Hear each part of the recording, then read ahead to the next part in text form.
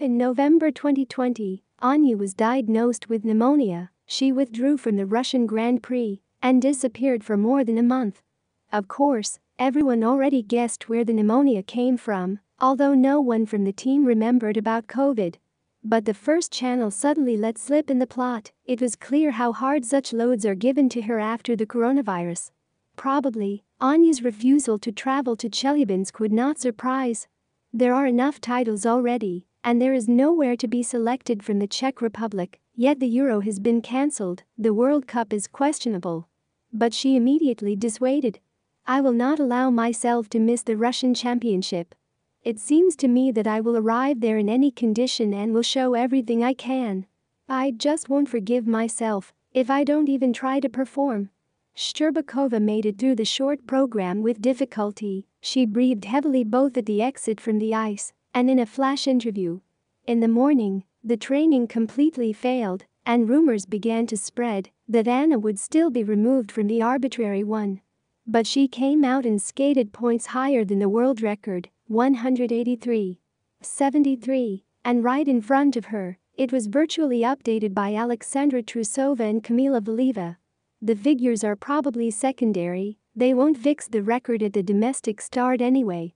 More important is the quality that Shcherbakova gave out.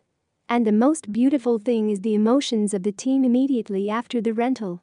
And Anya understands everything. Eteri Tutberidze and Daniil Glichengauz greeted her with tears. Like a family. The grades have just been announced. And Glichengauz wipes his tears again. And then the team, joined by vice champion Kamila Valieva, gave an interview to Channel 1. Shcherbakova started, I'm just very happy, thanks a lot to everyone who is involved in this. Thank you to myself that I didn't star, I fought, and everything worked out. Then Eteri Tutberidze and Daniel Glichengauz spoke in turn.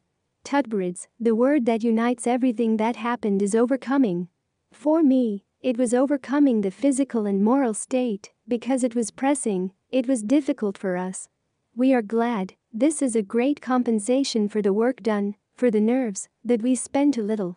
Glichengauz, just a little bit.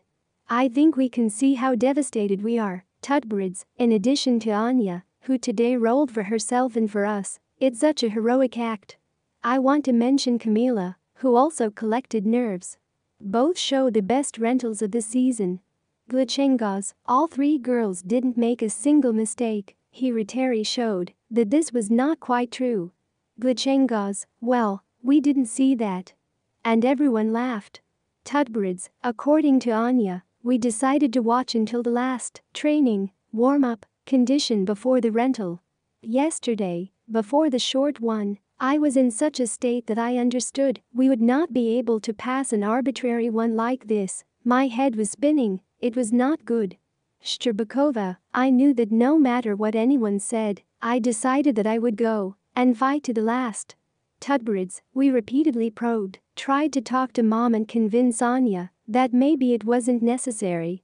Glichengauz, we were ready for Anya to be removed.